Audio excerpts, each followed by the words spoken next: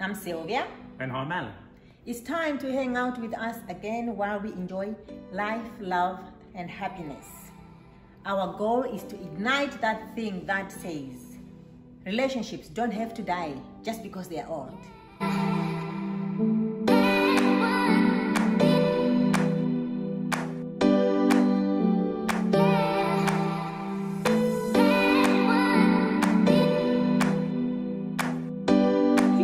Witness your parents arguing in front of you or fighting? Never. I never, ever, ever.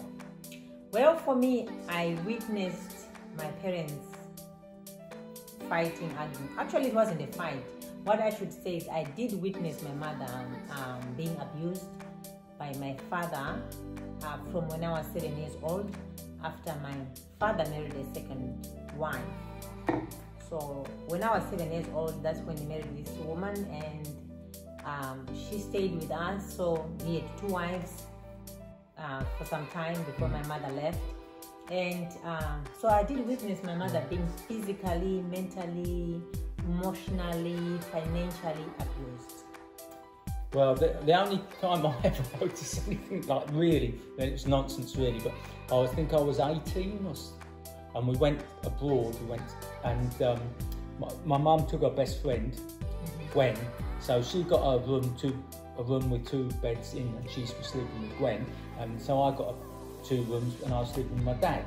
My dad was feeling a bit fruity one day, and, and he was chasing after and, and Gwen was saying, "Yeah, I'll, I'll sleep in the other bed with Dad, and it'll be all right." And so, to shut him up, she cut, shut his fingers in the door. By accident. Yeah, my was chasing her around. Yeah, because he was opening the door Yeah, and she was closing yeah. it, and then he got his fingers he was, caught. they were- he was feeling a bit fruity, and I remember all night long he was moaning, "Oh, because you imagine they went Yeah, black, that- like, that- oh, oh, oh." So that's the only abuse I ever saw, and it wasn't really abuse; it was Oh, just was accidental fun. Right. Okay. So, what about in your neighborhood growing up? Was it a safe neighborhood? Oh yeah, I mean, as far as I can remember now, when we used to come home from school.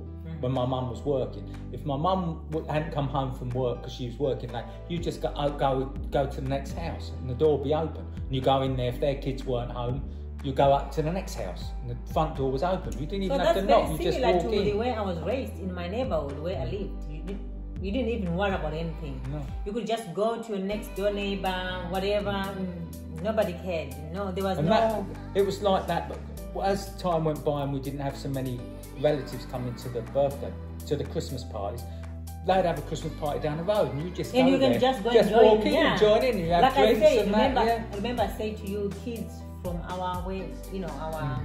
what you it? Neighborhood would come and watch TV. yeah.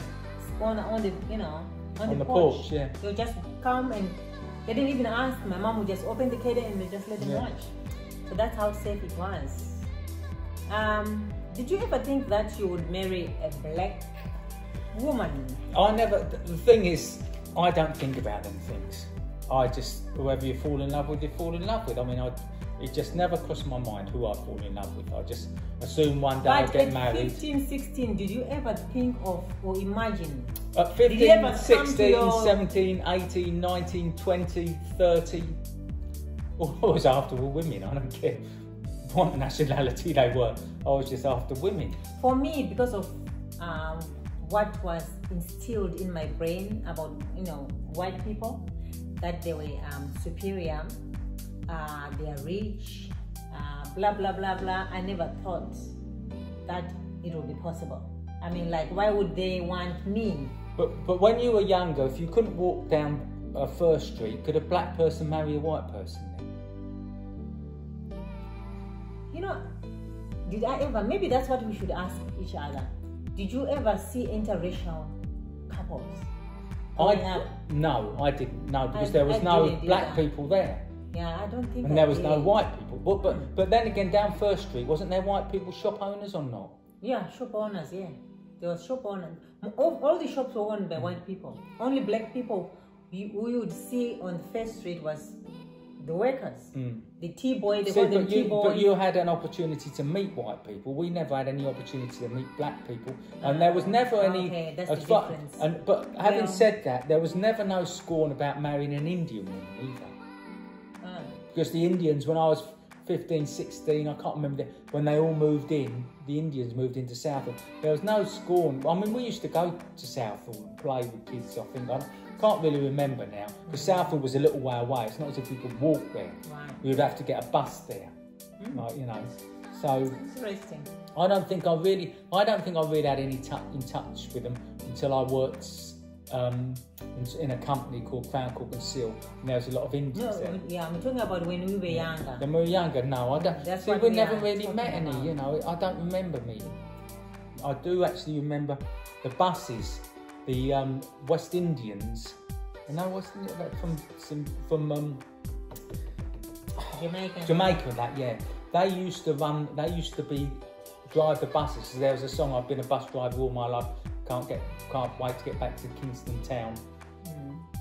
You know, and all this sort of thing back to the palm trees. Because, but we, we weren't taught racial things, so we never we weren't taught part about um, apartheid. So we never thought we wouldn't think anything of it. We just thought that's a working person. Okay. You never say, "Oh look, there's a black man there." You never say that because it wouldn't cross your mind. Not in the group of people I was with anyway at school. And So, like when you see a black person, like a driver, you wouldn't comment on, oh, look at. no, No. you you. Okay. I don't remember saying anything about. Them. Oh, that's good. You were brought up. Just that they used to go ding ding fez please, ding ding fez please. Probably we used to say that, like, oh ding Exactly, ding you fez please, because of their accent, Yeah. but not who they were.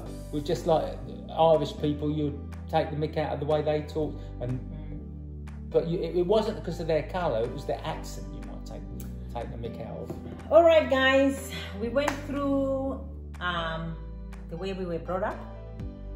Very different, Yeah. even though we've got a few similarities. I hope you enjoyed listening to our differences. Yeah. The way we were brought up. Until next time, we'll be back Bye. We'll be back. with another video. And please don't forget to comment, like, and subscribe to our channel. Bye. Bye.